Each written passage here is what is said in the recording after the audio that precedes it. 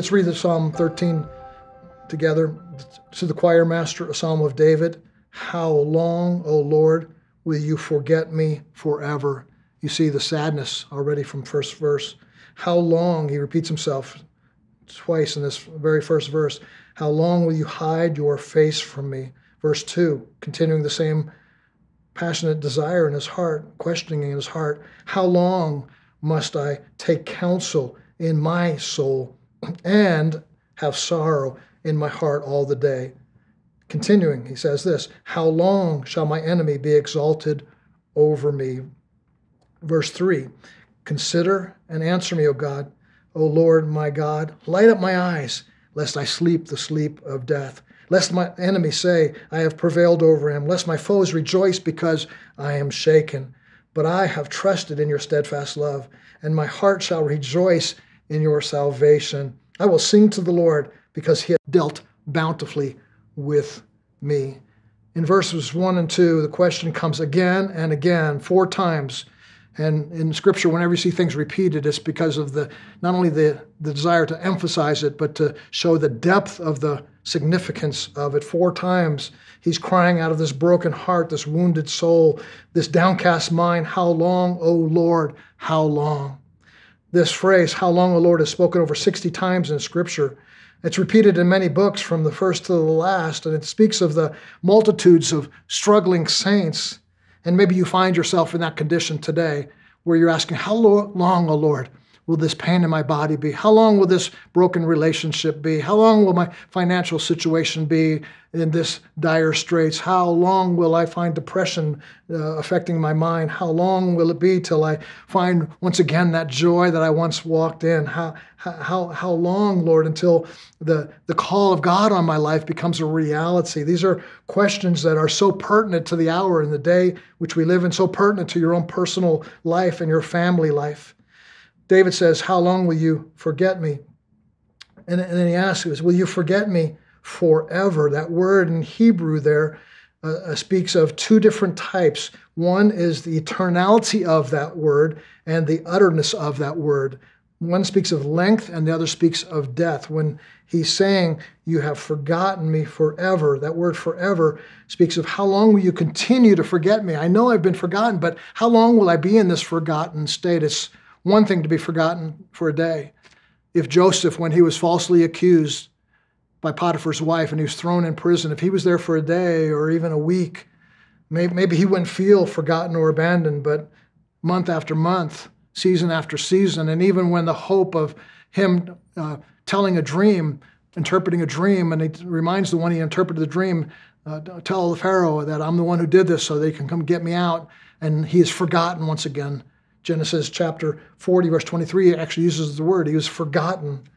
And, and many of us feel that way at certain times. We pray and feel forgotten. We, we get counsel but feel forgotten. We, we have sleepless nights, feel forgotten. And day after day, this same sense, the, the eternality of it, the length of it seems eternal.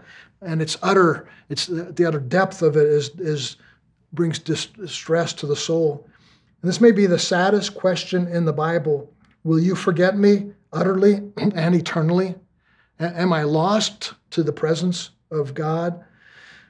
The, the, we see this time and time again in, in our culture and the reality of things that happen relationally. It could be that something as simple as that child that's waiting for the mother or father to pick them up after school, and they, the, the mother forgot to pick them up. The dad got delayed at work, and distracted and, and forgot, oh, I was supposed to pick up my son today. And, and that sense of sitting on that stoop and all the other kids are gone and it's maybe getting dark and you're still there. It's that sense of being forgotten. Or maybe it's a divorced child whose father no longer shows up after promising him take him fishing and, and the father just just time and time again makes a promise but doesn't keep and that child feels forgotten and feels uh, uh abandoned the, maybe it's the wife whose husband has either physically abandoned her and left or or emotionally has abandoned her. And he comes home from work and he flops in front of the TV screen on the couch and drinks a beer and eats his chips and just doesn't doesn't speak to you anymore, and you feel forgotten and abandoned. Maybe maybe it's maybe it's even something as deep as a as you know that you were abandoned at childhood. Uh, the, the, the, the story of those who uh, leave a, a, an orphan baby at the doorsteps of a Catholic charity, uh, uh, uh, maybe it's something as simple as you walk into a party and, and no one says hello to you, or uh, you can't find conversation, you're like the wallflower and you feel forgotten and alone. This is actually a, a deeper question that we're asking is, is how long will I be forgotten? It's when will I be loved? It's a question, will anybody really care for me? Am I all alone? Am I abandoned? Why, why, why is no one ever there for me? Why, why am I no one's favorite? Why am, I, why am I not the apple of the eye of someone who I delight in, who would in return delight in me? Reading a, a, letter recently, and it said this uh, uh, very simple, very strange, but, but very true to many people's lives. It just simply said, I, I need a hug not any hug. I want a long lasting hug. I want someone to, to, to, to, get a hold of me and hug me. I want to be hugged so tight until I forget the sad things in my life. I want to cry on the chest of another person without being asked any questions. I need a hug that the other person can understand my pain. I need a hug. I need someone to tell me that I'll be okay, that it will be okay, that makes me forget everything I'm thinking about and all the sadness in my life. I desperately need that hug. Someone else wrote a letter and said, I feel so lonely. I try to reach out to people and, and, and stay social, but, uh, but, but no one reaches back out to me. Even my parents, I can't seem, they can't seem to bother to give me a return call. Last week, I called to ask if they could get together over the next few weeks, and all the answer I got was, I'll check my schedule. To feel forgotten reveals a, a longing to be loved. But I want to say something to you that I think you might not have ever heard before. This desire to not be forgotten, this desire to have a sense of belonging, It's not an evil thing. It's not something you've done wrong in most cases, but rather it reveals a passionate heart to love and to be loved. It, it, it reveals your God given created nature that He created you to be in community, to be connected. So, this longing and this cry when it's missing, how long, Lord, is not a cry of a person who has a lack of faith or who has doubt, who, who has no ability to be faithful in relationship with other people. It shows a person rather who has a strong passion for a relationship. I, I want to say to you, in, in some senses, pat yourself on the back. And when you look in the mirror, just say, uh, I may feel lonely right now. I may feel abandoned right now. But I feel these things because I feel these things. I feel passionate about wanting these things. If you didn't feel passionate about it, if you didn't care, if you had a laissez faire attitude about it, like, ah, I'm fine being alone, I'm just watching another, I'll, I'll binge another television show on my couch. If that is your attitude, it shows something more dangerous than even being presently alone, being presently forgotten. It shows your heart has become calloused, maybe even a heart of stone, and only the Holy Spirit can wake you up now and say, I can change that heart if you so desire and let you have that longing once again. Because oftentimes it's longings that bring us into the things that we desire. It's the longing first and then the reality through the grace of God. Sadly for David, he's asking these questions how long, how long, how long? And he not only asks the question, how long will you forget me? But the second question he asks is, how long will you hide your face from me? It's one thing to be randomly forgotten or maybe unintentionally forgotten, but it's something worse when someone actually hides their face from you. The picture here is you're walking down a corridor and, and you see a friend and a smile comes to your face, but you see this strange look on their face. They look down or look to the side and maybe dart into a hallway. They're avoiding you. And wh- what does that cause you to think? Uh, I'm unwanted. I'm, there's something wrong with me. There's, there, this, this person despises me. This person wants to run, hide from me. The, the problem with David here is, is this is not a person. This is how he's feeling about God. Do you ever feel that way? That God has abandoned you? That God has forgotten you? That God maybe somehow despises you? Maybe that you're so bad, you've done so wrong, your history is so poor, your your your background is is so troubled that that God sees you and he turns his face from you? No, he loves you. Even while you were his enemy, even while you were in sin, he loved you and he gave himself for you and he wants to be near to you. But sometimes we don't feel it. Even though he has not turned his face from us we feel it that way. And david's feeling this because of the situations the situation in his life. Charles h. Spurgeon said a hidden face is no sign of a forgetful heart. I love that.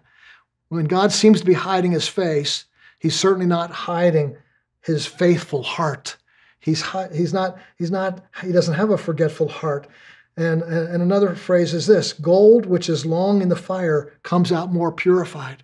Sometimes when we're asking this question, how long, how long, how long, it's a purifying work. It's, it's establishing our passions and our desires. It's showing us what is as a core value in our life, a must have in our life, if you will. And and and, and he but but David is feeling this. He, he he's feeling troubled over all these circumstances in his life. His third how long then is in verse 2. How long must I take counsel in my soul? Oftentimes, when you feel forgotten, when you feel abandoned, when you feel someone or God has turned his face from you, you feel your only option then is turn to your own counsel. And this is a very dangerous thing. David is falling into a trap, so to speak. He's, he, he's saying, I, I, have to figure out my own problems. I have to work out my own situations. And it may seem reasonable to you. It may seem the only way to go. It may seem like I have to work these things out in my own strength. There is another way. Later on, when we get into the 16th chapter of Psalm We'll, we'll, we'll study this. And in verse 7, it says, I will bless the Lord who gives me counsel. In the night, my heart also instructs me. When, when, when we have this confidence in the Lord, there may be uh, weeping may endure for the night, but joy comes in the morning. We know there's going to be a morning, a, an awakening of his presence, of his felt presence, even though his real presence is with all of his children at all the time. But when we feel the lack of it, oftentimes we look to our own resources, our own strength, uh, I'll I'll figure out my future. I'll figure out how to solve my marriage problems. I'll figure out how to raise my children in my own strength. I'll figure out how to get a promotion on my job. I, will figure out how to get rid of my depression. I'll figure out how to get rid of this nagging uh, habitual pattern of sin. I'll, I'll take counsel in my own soul. And the result of this is very sad. Uh, John Calvin defines the word counsel here as worry, the, the Hebrew word meaning I'm worrying in my own soul. And he writes, especially upon seeing that that um, that they are destitute of all resources, they torment themselves greatly and are distracted by a multitude of thoughts, and in great dangers, anxiety and fear compel themselves to change the purposes, their own purposes, time after time. Their own purposes, they're trying to change things by worrying, by because they feel so troubled by multitude of, of thoughts. There's there's sorrow and and so there's a sense of I must take control myself. I, I, I must I must do these things in my own strength. The result of that, Spurgeon says, is devices become innumerable but unavailing. The, the, the thoughtful ways of escaping the sense of being abandoned and alone, they become innumerable, but none of them prevail. None of them work out the things that God alone can work out. We do what I call spawning a multitude of carnal, fleshly ideas to solve our problems when it is God alone who gives us the power to see things transformed and made new. And I wonder if it's his taking counsel in his own soul that may be the reason that he felt forgotten in the first place. Now, the way the text is laid out, it's the forgottenness first, then he takes counsel. But oftentimes that can be the reverse. I'm taking so much counsel in my own soul, I feel forgotten by the Lord because I'm not actually calling upon the name of the Lord. I'm actually the one doing the forgot, forgetting. Maybe God is saying about me, How long, O, o, o son, how long until you come into my presence? Till you get rid of that sense of your own counsel is sufficient and you trust in me. Lean not on your own understanding, but in all your ways acknowledge the Lord. And, and, and, and He will give you His understanding. He will give you something that you don't have in your own strength. That's what God wants to do. And He says, the next part of that verse 2 and have sorrow in my heart all the day long. Do you see what he's saying here? It, it's, it's, it's when I begin to get consumed in my own counsel, what, what, what follows is not peace and joy and solutions. My own counsel, my own wisdom, without the wisdom of God, ends up causing sorrow in my heart, despair, because my own counsel doesn't work. My own plotting and plans don't work. They are contrary to the wisdom of God. And so he finds himself in a place of saying, I have sorrow in my heart all the day long. He's, he's sensing this abandonment and this forgottenness, and, and, and it's, it's like 24 7. I'm just constantly in this place of sorrow. And you may find yourself in that place today. And, and I pray that the rest of this message, I hope you'll listen to the rest of this. Not, don't turn this off because you're about to see what God has done for you, what God can do for you, what place He has for you in being free from this sense of being abandoned, free from this sense of being unworthy to be uh, uh, to receive any love from God or others. There's something that pow- there's powerful uh, solutions in God's heart. Rather than the next thing that he says is that how long shall my enemy be exalted over me? This this enemy could be nationally, as we th- see things in America, uh, politically and academically, and in our schools and in our family life nationally, we see a spiritual declension that is unlike anything I've seen in, in, in decades of pastoral care and ministry. Psalm 12, 8, one of the translations says that these people freely strut about when what is vile is honored by the human race. When what is vile is honored, people uh, who don't have a heart after God, they, they strut about. They, they, they, they parade about. They they protest things that are pure and they rejoice over things that are vile. They want to pass laws and legislations that promote horrible things, even being done to children, and, and some of the hormone changes and, and uh, surgical procedures to try to supposedly turn a man into a woman and a woman into a man, which is impossible. God created chromosomes, He created DNA. One scientist says almost every cell in the body shouts out, male or female, even scientifically exploring that. And, and so we see nationally this degradation, this sexual perversion. And, and, and we could be crying out, How long, O Lord, will you forget us? Or, or maybe it's not nationally, maybe it's relationally, something more close to home. A, a, spouse has abandoned you, or maybe they're abusive towards you, or, or, a boss constantly overlooks you. Relationally, you, you don't feel connected to your church or your community, and you're feeling alone. This is like your enemies just being exalted over you. But I would suggest to you it is possible that David's despairing soul was that the greatest enemy he felt over exalting over him was his own soul, was his own troubled soul, was his own heart. What what what is this great enemy? It's this this sense, this nagging sense that I have to take counsel in my own strength to, to solve my own problems of being forgotten and abandoned by God. It's up to me, it's up to me, it's up to me. And that enemy is, is such a haunting enemy that gets into your soul, gets into your mind, and it becomes oh, almost like a self abuse where you're where you're wounding yourself by the words you say over yourself, the beliefs you have over yourself, the beliefs you have over God, the beliefs you have over the body of Christ, and and there becomes accusations. Even there's enemies around you. This is taken up in, in verse four. Uh, I'm going to skip verse three for just a moment. In verse four, lest my enemies say I have prevailed over him, lest my foes rejoice because I am shaken. I, am shaken by all these things. In other words, I'm about ready to give up my faith. I'm not, I'm not, I'm not, I might go back to the old way of living. I, I might say this is too hard because I feel like I'm doing it on my own. I'm in my own counsel. Uh, it, Psalms 30, verse 6 and 7 says, In my prosperity, I said, I will never be shaken.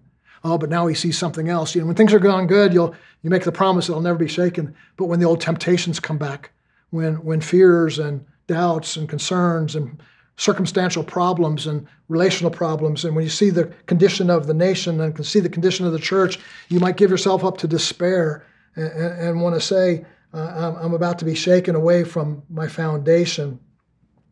Why is he so shaken? Because he feels these things that we're talking about here today. Oh, but hallelujah. Now, here's the good news a key change. Uh, the, the key of David, the, the opening up of truth and revelation, a transformation comes in this in the scripture. This scripture reeks of the gospel. It it prevails in the gospel. It it shows what. Uh, looking forward to what Jesus would do for David, we now look back at what Jesus has done for us, and we see this this this shift, uh, this focus. Uh, look at look at verse look at verse five. He says, "But I have trusted in your steadfast love." Wow, he went from feeling like God had turned his face from him. Now he said, "But I'm trusting in your steadfast love, and my heart rejoices in your salvation. Oh, powerful word here. David is looking forward to the cross, looking forward to what Jesus would do for him, not knowing actually the name of, of a cross or of Jesus, but knowing that a Messiah, a Redeemer was coming, and he would know that he could be saved, saved from this condition of loneliness, saved from this how long question, saved from his own counsel, saved from his enemies, even the self enemy, Satan as an enemy, evil prevailing around him as, a, as an enemy. He would rejoice in his God's salvation, as he says, not my salvation, but your salvation. In other words, somebody was doing a saving. It wasn't his own self. He wasn't just straightening up his spine or pulling up his bootstraps and saying, I can get through this. I can, I'm a strong man. No, he's saying it's your salvation. That's what's turned my heart around. Now I have joy. Now I have steadfast love. And he closes by saying, And I will sing to the Lord because he has dealt with me bountifully. Now he's trusting. Now he's feeling deeply. He's, he's moving from shaken to steadfast. Uh, he's, he's moving from forgotten to being loved, excuse me, being loved deeply by God. He's he's singing to the Lord. He's he, he's singing a new song. He, he's say, saying that God has dealt bountifully with me. It's not like he's diminished and abandoned and forgotten and turned his face from me. Now it's bountiful. Do you see that word bounty? It's it's wide, it's deep, it's it's eternal, and it's utter. Oh, he's he he has seen a major shift. And I know you want that shift in your life, don't you? You don't want to be a person stuck in the how long season, in, in, in your own counsel season, and feeling alone and hidden. You don't want to be stuck in that sorrow of your heart all day long. You don't want your enemy to triumph over you. There has to be a transition. But I want to ask this key question here Where did this key change come from? How, how did he turn from verse 1 and 2 and 4 to, to, to understanding verse 5 and 6? Well, the only verse I didn't cover in this text so far is verse 3. And this is the key. This is the key change verse. This is the thing that turned him from sorrow into salvation. Look at it, verse 3 Consider and answer me, O Lord my God. Light up my eyes, lest I sleep the sleep of death. He started off by saying, it, If left to me, I sleep the sleep of death. Left to me, that's where I'm headed. The trajectory of my own counsel leads me to a dark place. But so I ask you to light up my eyes. Let me see salvation. Let me see the joy of the Lord.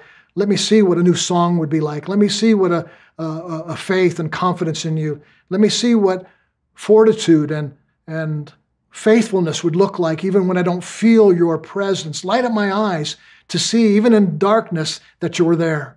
Even in my most horrible circumstance, there's the light of the glory of God shining his face upon me. Shine your face upon me and let my eyes reflect that and see the glory of the Lord.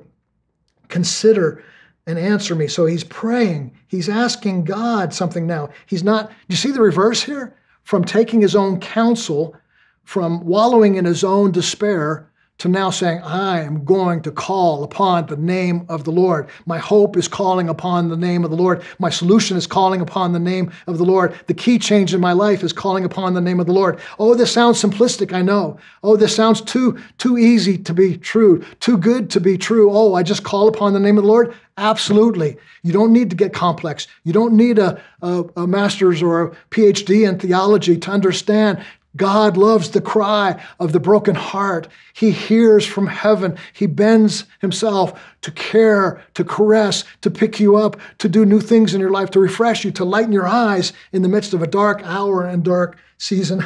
Praise God. He just says, Come and consider me.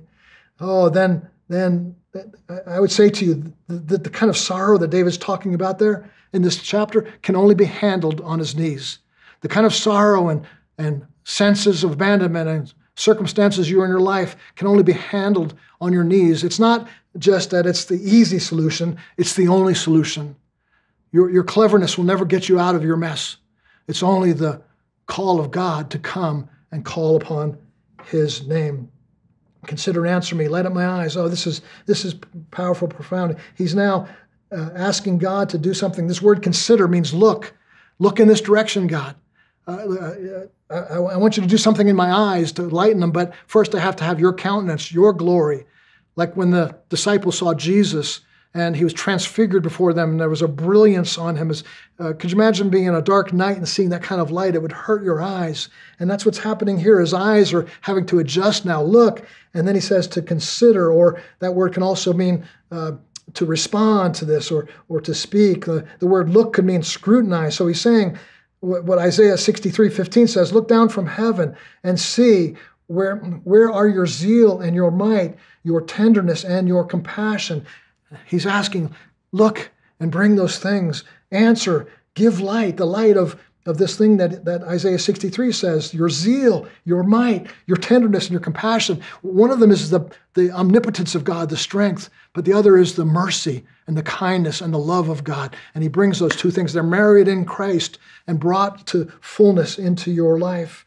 Once we begin to call upon the name of the Lord, uh, letting him scrutinize the situation and the circumstances so that we, we don't get stuck then in our own anxious conditions or our own sense of counsel and there is a newness of life.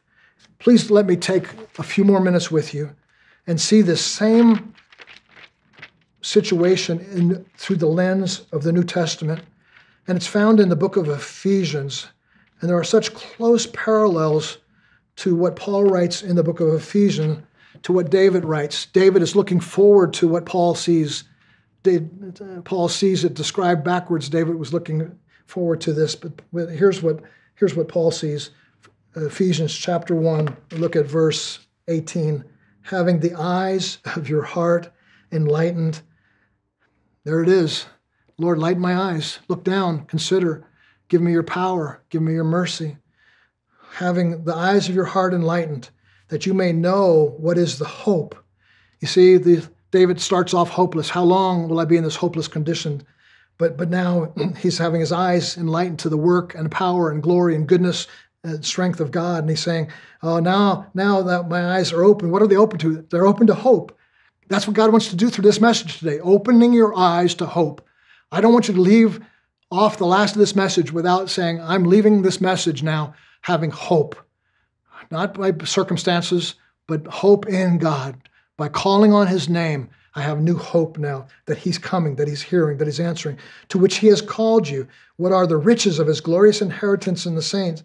What is the immeasurable greatness of his power towards us who believe, not who are in our own counsel, but we believe that God, and this is according to the working of his great might here, having the eyes, the, the, the, the, the, the root word of this word eyes here is, is P H O S. It's where we get the word a photograph from to, to see a new picture, to see something new laid out before it. And it, listen to this, this is good. I don't, I don't get into the Greek a whole lot, I'm not a scholar, but as I was reading this, it just brought such joy to my heart. In the Greek, this word, having your eyes enlightened, means it's, it's, in a, it's what's called a perfect tense. And that means it's occurred in the past but which produces a state of being or a result that exists in the present. So it's that's it's something that God has already done for you. He is he has already enlightened you. If you receive Christ uh, as your Lord and Savior, you were enlightened. But it's a present, a perfect tense of saying it's it's existing also in the presence. It's also what in the Greek they have these words, and this word is called. It's a this word is also not only perfect tense, but it's a path, a passive perfect tense. I don't want to get too complicated here, but let me give you the definition, and it might make you want to shout for joy. The subject is being acted upon. The subject is the receiver, and so I'm not trying to lighten my own eyes. I'm not trying to look. And that's what the world offers us: is like try to have a better outlook, try to have a better perspective on things uh, see the glass half full and not empty. It's, it's your own energy, your own strength, trying to see things through a new way. This is being acted upon by the Holy Spirit in your life, my life. This is something you can't do in your own strength, in your own counsel. This is something that God has done and is continuing to do in your life. So, in conclusion, no matter what you're going through right now, no matter what you, you feel, no matter the troubles you have in your own counsel, call upon the name of the Lord and you will receive a life transforming key change in your life. This act of calling upon the Lord shifts the things away from darkness and into light. You see a brighter future even in the midst of a darker day. Nothing speaks here of circumstantial change, but of a mental, emotional, physical and spiritual change. It's an internal change that starts. And oftentimes, how many of us know this? That once things change in our heart, it seems to change the environment and the circumstances around us. A person stuck in despair will find despairing circumstances. A person who's now receiving this worked upon, acted upon grace of God to be enlightened oftentimes brings a greater light, transformation to society, to culture, to family. It, it is it is salvation over enemies. It's salvation over fears. It's salvation over doubts. It's so salvation over anxiety. It's salvation over being shaken from your faith so that you can stand strong. You don't have to worry. You don't have to fear. You don't have to listen to those voices. You can begin to sing. You can begin to rejoice. You can begin to, to laugh again because the Lord has dealt bountifully with you. Praise God.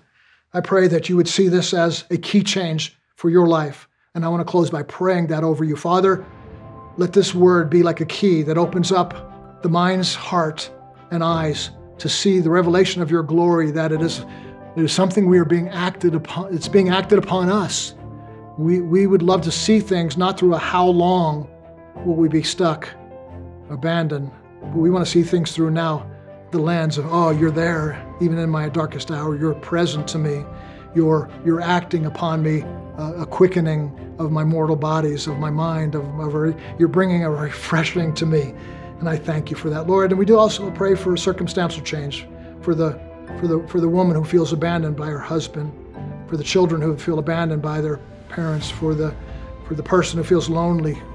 Lord, we thank you that you can also not only work, uh, you, you can only work you work not only in internal change, but you can work in external circumstantial change as well. And we are not ashamed to pray over that. Lord, heal broken relationships, heal father and, and daughter and son, mother, daughter and son, husband and wife, family, church, uh, church situations that are near, bringing churches to near collapse. Pray you heal them. Let there be humility to see things not in their own counsel, but in the light that is being acted upon them to see through a new lens. And let there be resolution to all kinds of circumstantial difficulties. But most of all, we thank you for there being a key change in our heart that we can sing a new song and we can have joy. In Jesus' name, amen. Thank you. God bless.